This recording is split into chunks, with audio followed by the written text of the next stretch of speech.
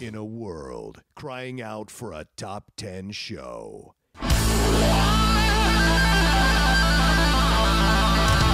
John Rocha and Matt Knost are here to bring you the top 10.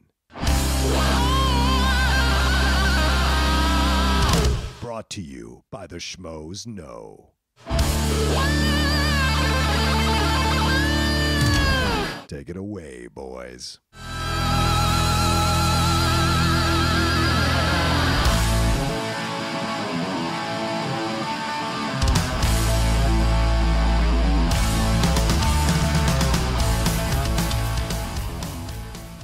Welcome, everybody, to the rebirth of Thunderdome. Thunderdome! Well, well, you've been asking for it on Twitter, on all the social medias, uh, and the Patreon just exploded, and we were able to put it as one of the things, one of the gifts, or one of the tiers.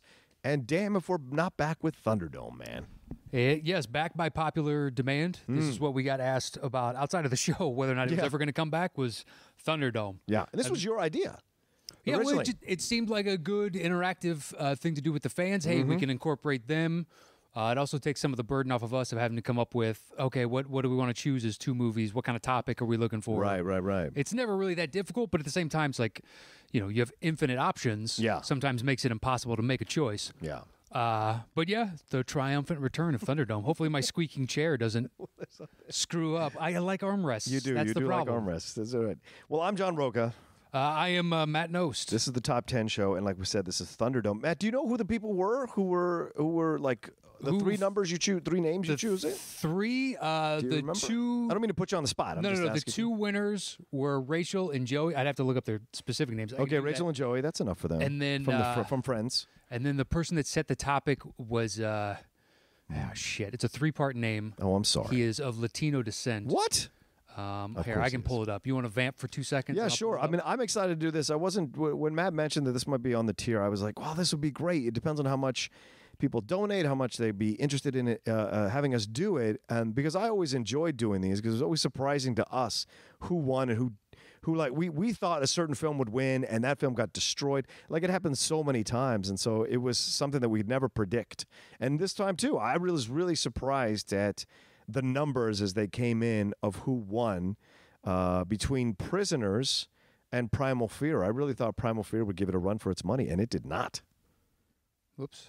Do you get the name? I thought I was about to pull it Oh, you're almost there? There's Okay. one typo in all of that. But uh, Matt, were, Matt and I were monitoring it for like a few days right after he put it up, and prisoners just ran away with this thing. It was intense. yeah, and for the people that said, "Hey, could you give us a little bit more heads up next time?" We will going forward. Oh, This is the- sure. this is the first one, and we wanted to get it up so we can. Uh, we're going to try and do. We're going to do two of these a month. Yeah. So it just it fit in the sequence better if we can just get this up immediately so people can start uh, actively participating. Yeah. Um. All right. Here we go. Here we go. Should I vamp some more? Yeah. Give me. Give me. It's all about the loading at this point. All right.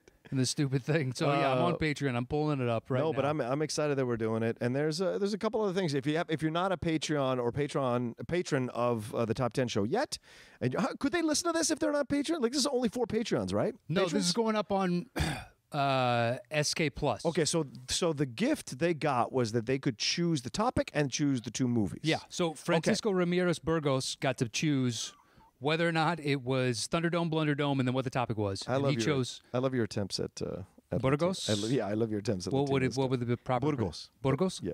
Oh, oh, oh, I'm sorry. I'm sorry. You know, there's there's no tilde over the R, so I didn't roll it if as properly as I I, don't say have. cucumber. I do. I say cucumber. All right. All right. Anyway. I, don't know what that. Cucumber. okay.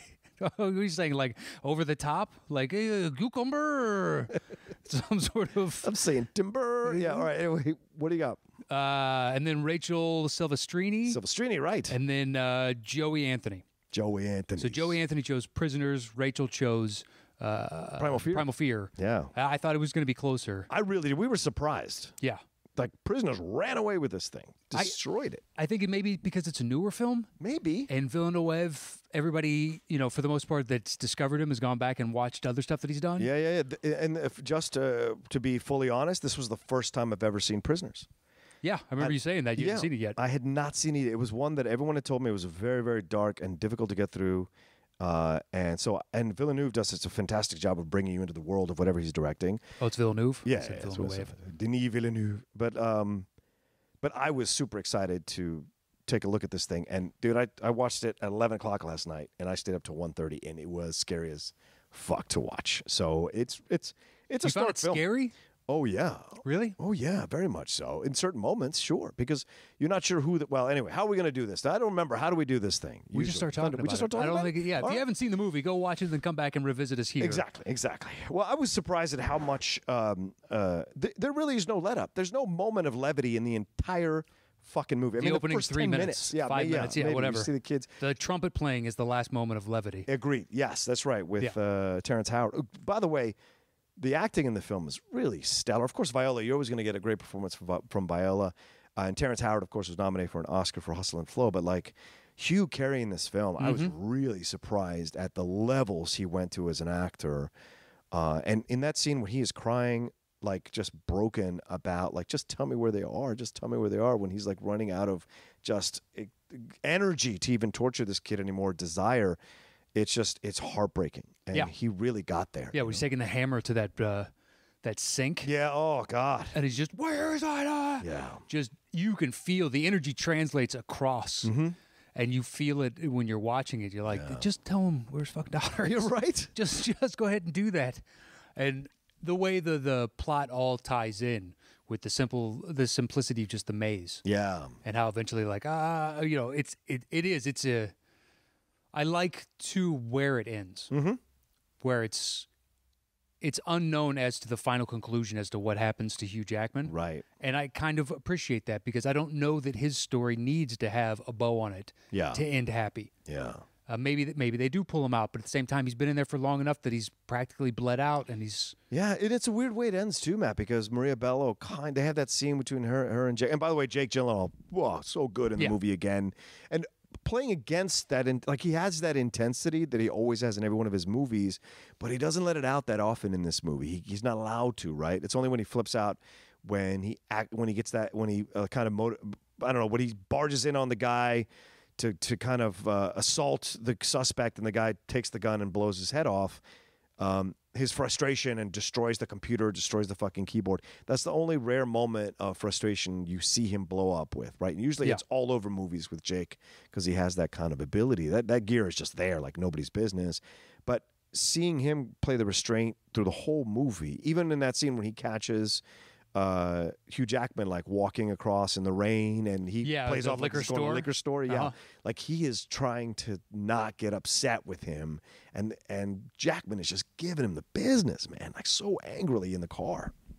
well, it's you can understand though because it, initially he's trying to cover his tracks as Yeah. to what he's doing, and then he redirects that to a proper placement of like, why are you following me? Yeah, From his perspective of shouldn't you be out doing everything you can to find my daughter and her best friend, Yeah, these yeah. two missing girls, as opposed to following the dad of. Right. You don't have something better to do with your time. right. What I found, because I've seen it one other time and I rewatched it for this. Okay. And what I, I didn't, I guess, maybe internalize the last time, and I can't find if there was any meaning behind it. Mm-hmm. But Gyllenhaal's character's name is Loki, Yeah, Loki, just the trickster god. It's the god of mischief. yeah. Yeah, And yet, so is it a, a play on that in that he's trying to search through the mischief, search through the you know Yeah. the charade of what's going on to decipher maybe the hidden meaning? Yeah. That's the only thing I could come up with. That's Right. it. Because I was like, why else call him Loki? I don't understand. yeah, Uh, it's some meaning that is lost on me, and perhaps somebody out there listening is like, "Oh, it's obvious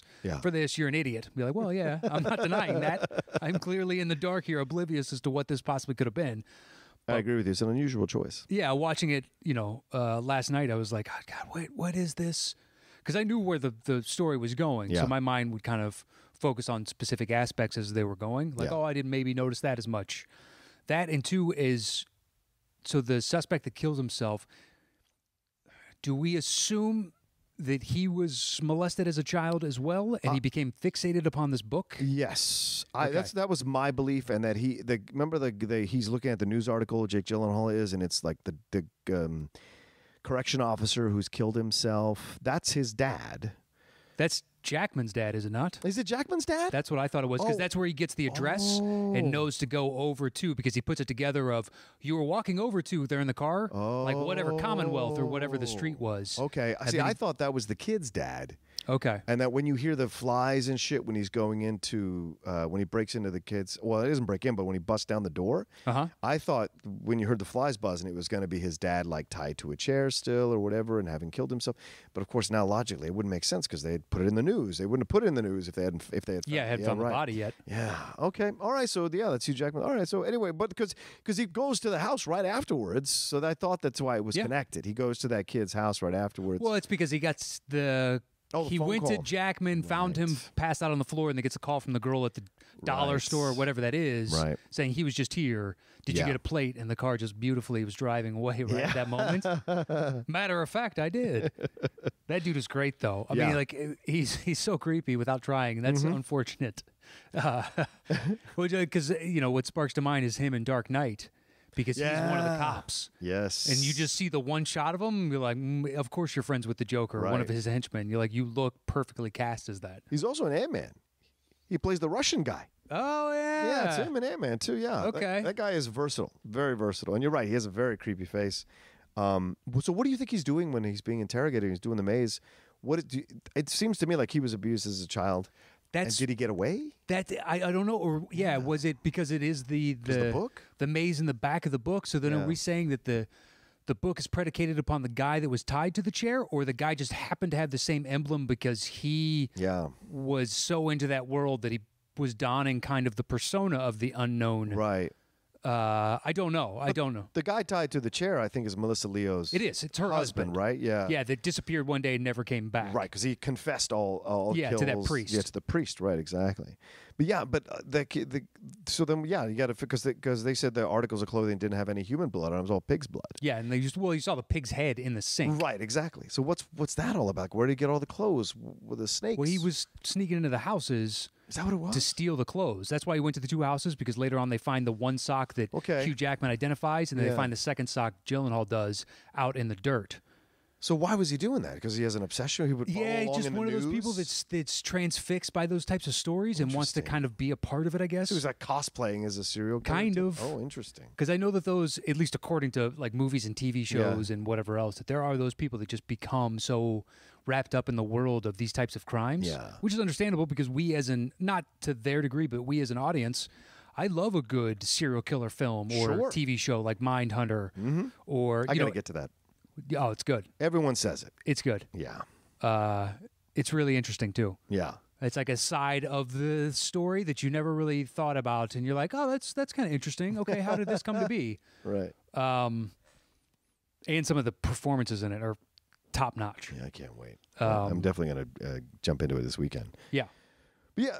Also, I I really enjoyed uh, like Roger Deakins did the cinematography for this. And, you know, for a film like this, you're not gonna see sweeping vistas. You know, it's set in kind of a suburban town, so to speak. yeah. It looks like the middle of Midwest somewhere. yeah, sure. Or it looks like Virginia to me. I, Yeah. I know exactly. I was about to say all. Pennsylvania, or Yeah, and it the- all kind of looks the same on some level. Exactly, and the rain really helps. All Mm-hmm. of that kind of gives that vibe of um, of just like this overwhelming sense of just like normalcy, but but uh, impending danger the whole time, like the whole time. Yeah, And so, like when when the guy sneaks into the do into like when the first time the kid sneaks into Terrence Howard and Viola Davis's house, I think he's going to kill the girl in the bathtub. Like I had to pause and take five minutes to calm down. really. Yeah, because I just did not want to see her getting killed. The film is very engrossing for me, and so when I get engrossed in a film, sometimes I can like really feel like connected to these deaths and like experience this shit, and so it can be a, very emotional for me. So, like, I have to take moments, kind of like, okay, okay, okay, five minutes, five minutes, five minutes, okay, turn it back on. Oh, nothing happened. All right, that's good, that's good. But I was like initially like fucking freaked out. Um, and the same thing with Mel- uh, Melissa Leo is so you you have no suspicion that it's her at all until he comes back. When he comes back and she has her a- hand in a towel, Yeah. then I was like, all right, this is there's some, this this this bitch did this shit. But I don't. I her motivation is corrupted too because by Mm-hmm. her own admission, like her and her husband used to do this to basically as a, a form of of belief in God Yeah, to bring out the devil and monsters in normal everyday people. yeah, You're like, oh, wow, that is a fucked up motivation Mm-hmm. To do these terrible, heinous things. Yeah. And how would you respond to it? Yeah. All that kind of jazz. And in no way did I believe that guy was going to kill that girl. I just, from the first time I viewed it, I was like, my, I, Paul Dano is still your sus- suspect. Even though everything is pushing me away from it, like the story, oh, it's not him, it's not him. It's like, nah, I don't, I still don't trust him. And they do a great job of it because when he yanks the dog like that, when he chokes the dog like that, it's Yeah. like, ooh, that's a that's not a good impulse. No, that's do something a like that. serial killer would do. Right. So you so when he gets trapped, you're you're caught up in the movie that he could still at some point tell the truth about where the girls are or must know something or whatever. And then when you find out, it's such a kick in the pants when you find out that he's like a an abducted kid. Yeah. Oh man. And he had, uh, I can't remember what the accident is, but he had an accident. So basically, his mind has been reverted to the age of a 10 year old. Right. He Right. doesn't have the cognitive capacity. And you, f- you feel yeah. for an individual like that and to be thrust into this quote unquote family. Yeah. that- The A, they stole you, but now you just associate, oh, this is my family because you don't, you can't, I guess, think back that far. Or uh, yeah, and that's the question I have for you, Matt. Coming out of this movie, it seems like there's a lot of damage. Although it's a quote unquote happy ending in Oh, a no. way, there's so much damage all around because Paul Dano's never gonna. I mean, like that's if it's not enough to be a a uh, uh, a victim of child uh, kidnapping yeah. and then quote unquote adopted by this Melissa Leo woman with her husband, Mhm. uh, as if he wasn't tortured enough, probably for years by Melissa Leo and her husband. Here comes Hugh Jackman to torture him some more, and even in worse, probably worse ways. Because that Viola Davis's reaction when she looks at his face and it's all puffed up, man, that's horrific. You know, it's overwhelming. And then It is. hearing his screams when he turns the hot water on, you're just like, oh my god, dude! Like it's just so. It really, t- it, and that's what I like about the movie too, is it makes you question, like, you, uh, yeah, you have your impulses to, if you know you're right, you know what I'm saying, mm-hmm. go after the person, but in the in the end, if you're going after the wrong person, like, what's the price you have to pay? And it, it's weird how the Yeah. film reconciles it because they have Maria Bello have that scene with Jake Gyllenhaal, and she says, "Well, he's a good man. He did what he needed to do to protect our family." And this is an interesting question, Matt. You know? I mean, Do women want that when it happens? Throw away the rule book. Do what you Well, need to do as a man. she, Is to go primal. yeah, she undercut him saying, you promised to protect us. Yeah. You said you would did. always, you know, be our knight in shining armor to some degree, and you let her go, putting all the blame on him, Yeah. which is, you know, unfair. Yeah. At the same time, you understand because she's not processing the situation correctly. mhm. She's not understanding, so she's trying to take the anger, the hurt, the sadness, the sorrow, everything that, she, that she's attempting to her brain to, to to process what's going on, and basically just redirecting it onto him Yeah. and then his answer to taking you know what she has plus his own demons Yeah. is to do this to Paul Dano, Yeah. and then pulls in you know the other Terrence family Howard, yeah, exactly. Viola Terrence, Davis, yeah. Terrence Howard is the unwitting passenger on this journey, Mm-hmm. and you know part of me sides with him and part of me sides with Hugh Jackman. Yeah. Like I understand the motivations of both. I don't know where in the spectrum I would fall Mm-hmm. because I don't have I don't have kids. Yeah. But at the same time, if something to happen to uh, you know my nephews or nieces, I would be very compelled Yeah. to do you know whatever is within my power to do, Yeah. And I can't even fathom then having that amped up to when it's yours. Yeah. Yeah, Well, and I think that's what's so good about the film is that you get both sides of it because you get Terrence who's really upset about it, upset so much that he tells Viola Davis about it, and when he when Hugh Jackman gives him the power to let Paul Dano go from that sh- con- shower contraption he's put him in, Viola tells him to stop.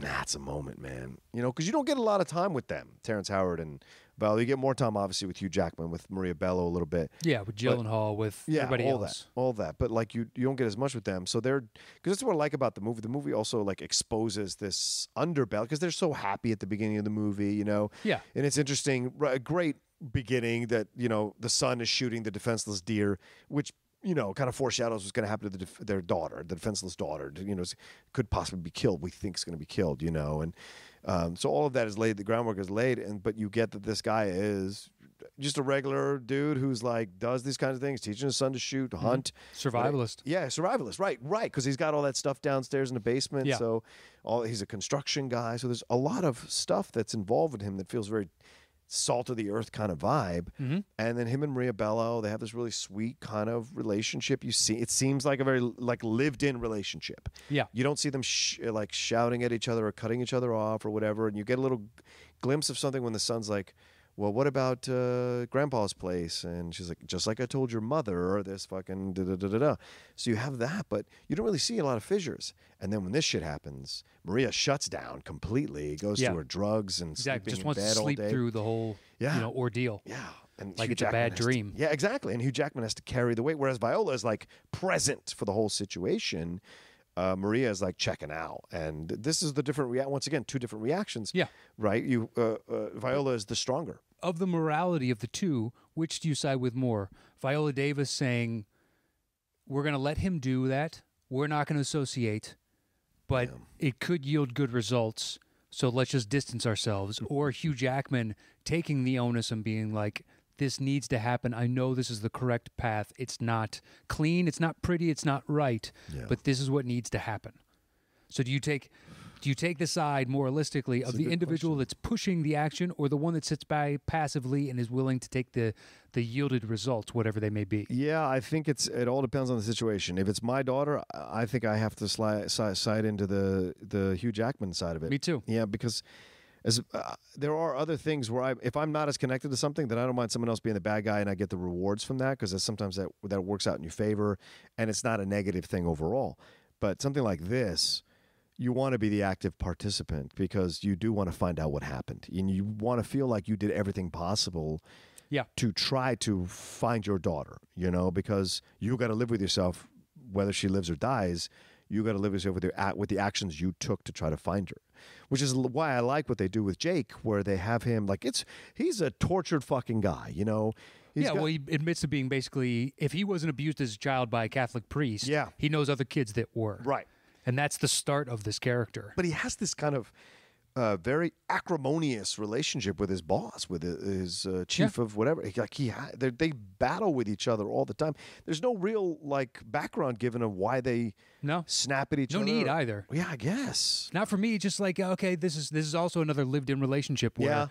Gyllenhaal gets results. As they state from the, the beginning, he's never Right. lost one of these cases. He's always come through. So you give that type of individual that gets results, so long as they're not breaking the law to do it, you give them a longer leash than somebody that you know screws up a lot or can't can't follow through and get the results that you need. Yeah. So you're like, yeah, you know what? This guy gets to sass me back every once and again. That's fine, uh, because he throws it right back in his face. He still. does. He Like does. with the maze afterwards, his boss comes in and be like, "Did he tell you what uh, what this is before he you know offed himself?" Ah, Jesus. And it's just like that was basically going "fuck you," yeah, and you're like, you know what? That was earned. Yeah. that is a fuck you. yeah. Should never let a m- mentally unhinged guy get your gun. And he's just like, well, I guess I don't have to worry about losing you to PSP anymore, or whatever it is he says to him about, you know, because obviously you get that idea that he might go on to another job or what is going to, you know, again, that's another thing. Like, he doesn't appreciate the fact this guy always catches his man.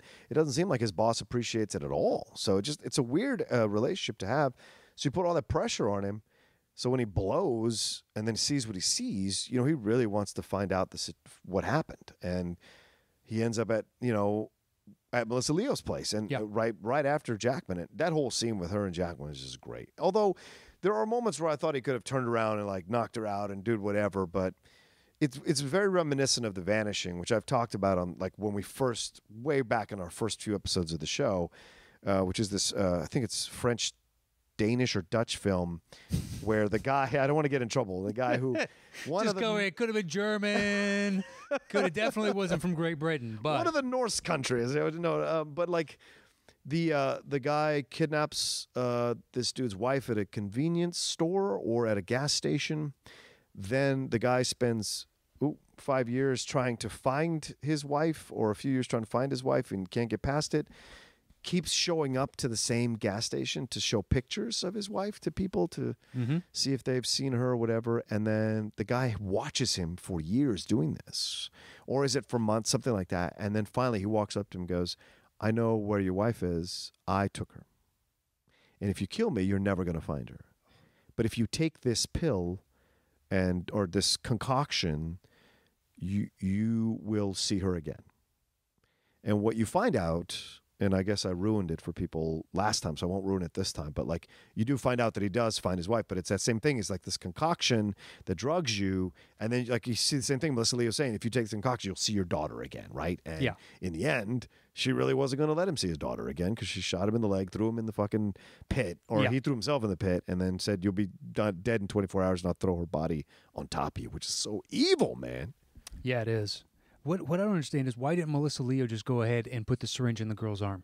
Once she knows the jig is up, she can get one more in, and she stops. I suppose you're right. So uh, just from that, her the character stands. I mean, obviously, Yeah, as an audience, you don't want to see that happen. right, right, right. But given her character's motivation, you're like, wow, but she, you would think that she would even shoddily try and jab this needle in there and get one more in because she knows she knows she's done. Well, she said he said if you move, uh, if you make one movement, I'll sh- I'll shoot you. But she was already She was there. the movement is one inch. You If couldn't she- tell that. If from, she had done that, she would have been shot. So yeah, you're right. I, I, I, I don't even think that because it, the the needle was all lined up. Yeah. I don't- it could have just been like, hey, I'm just going to slowly get up, just like talk him and ask. Basically, bullshit for 20 seconds. Right. Because that's all it would have taken. Just I put it in right. there, quickly plunge in whatever that was in. I didn't see what was on the, the bottle. Neither did I, but it seemed like It's obviously not good. Yeah, right. Not good. Yeah, it's, it's never a good thing. it's not water. Yeah. uh, but yeah, there's, but at the same time, I don't know as an audience, uh, that's asking, that's a bridge too far. Yeah. It's like, Yeah, oh, yeah. Jesus.